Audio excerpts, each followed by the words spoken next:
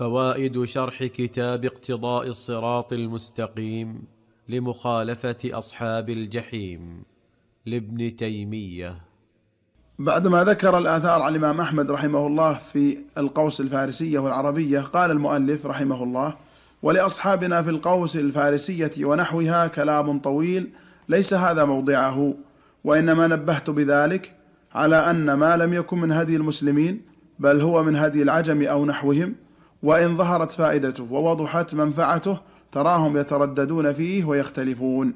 لتعارض الدليلين دليل ملازمة الهدي الأول ودليل استعمال هذا الذي فيه منفعة بلا مضرة مع أنه ليس من العبادات وتوابعها وإنما هو من الأمور الدنيوية. بسم الله الرحمن الرحيم. الحمد لله رب العالمين. صلى الله وسلم على نبينا محمد وعلى آله وأصحابه أجمعين. تقدم لنا أكثر من مرة. أن الواجب مخالفة غير المسلمين فيما هو من عباداتهم وكذلك ما هو من عاداتهم الخاصة بهم لأن التشبه بهم في ذلك يجر إلى محبتهم وموافقتهم ولأن ديننا ولله الحمد أغنانا الله به وما شرعه فيه من مصالح الدنيا والدين بحيث لا نحتاج إلى أن نستورد من أعمال الكفار وعاداتهم الخاصة بهم. نعم. لنعتز بديننا ونتميز به على غيرنا. قال تعالى كنتم خير أمة أخرجت للناس. فكيف بأمة خير أمة أخرجت للناس يكون من أفرادها من يتنكر لهذه الخيرية ويستورد من من عبادات الكفار وأعمالهم ما ما يدل على أنه يرى أن ديننا بحاجة إلى أن يكمل من دين الكفار وعاداتهم ولا حول ولا قوة إلا بالله. وقد انعكس الأمر الآن كما هو واضح فلا يحلو في ذوق كثير من الناس إلا ما كان مستوردا من عادات الكفار وتقاليدهم حتى في اللغة وحتى في اللباس وحتى الرجال والنساء يتزيون بزي الكفار. في أبدانهم وفي ملابسهم وفي كلامهم. ومأكلهم ومشربهم وكل وكل شيء وهيئة الأكل وهيئة الشرب وأن الدعوات والولائم التي تقام وحتى في التحية عند اللقاء وغير ذلك من الأمور. مما يدل على أن أكثر الناس لا يحلو في ذوقهم إلا ما كان من الكفار وهذا استشعار للضعف أنهم لم يدركوا قوة الإسلام.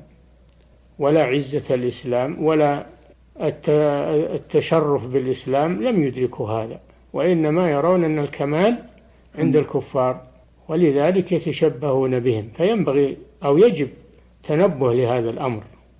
يجب التنبه لهذا الأمر لأن استجلاب هذه الأمور من الكفار يغير من دين الإسلام ويقلل من شأن دين الإسلام واعتقاد أنه ناقص. فهذا أمر خطير جدا. ولذلك القاعدة العامة أننا لا نتشبه بالكفار لا في عباداتهم ولا في عاداتهم الخاصة بهم. حتى في, في, في السلاح إذا كان عندنا سلاح فتاك ويكفي فإننا لا نستعمل سلاح الكفار لأننا لسنا بحاجة إليه. فكيف بغير ذلك من الأمور؟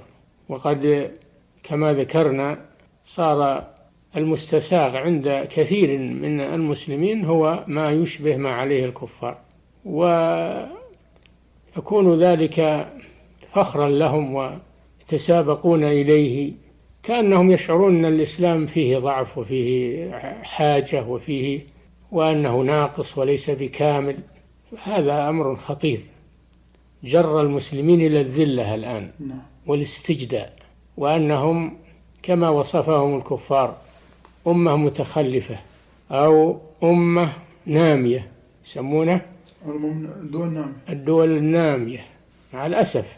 أو النائمة أن المسلمين يقال لهم النامية. فهذا الحقيقة هو نتيجة أن المسلمين أنهم صاروا أتباع. أتباعا للكفار وصاروا يتلقفون منهم الثقافة وكل شيء. وأما دين الإسلام فهو عندهم معطل من المنافع إنما قد ينتسبون إليه أو يعملون ببعض شرائعه آه، من باب العادات تقريبا. أو يسمونها العادات والتقاليد. يسمونها العادات والتقاليد. عاداتنا وتقاليدنا وما أشبه ذلك من العبارات. فبلغ الأمر بالمسلمين ما بلغ الآن. حتى صاروا عالة على الكفار. والكفار صاروا يقودونهم ويتحكمون فيهم. نعم ومن لم يرضى عنه الكفار فإنه يكون مغضوب عليه. لا ما يكفي أنه مغضوب عليه. يكون ناقصا عند الناس ويكون مسكينا ويكون يعني لا قيمة له.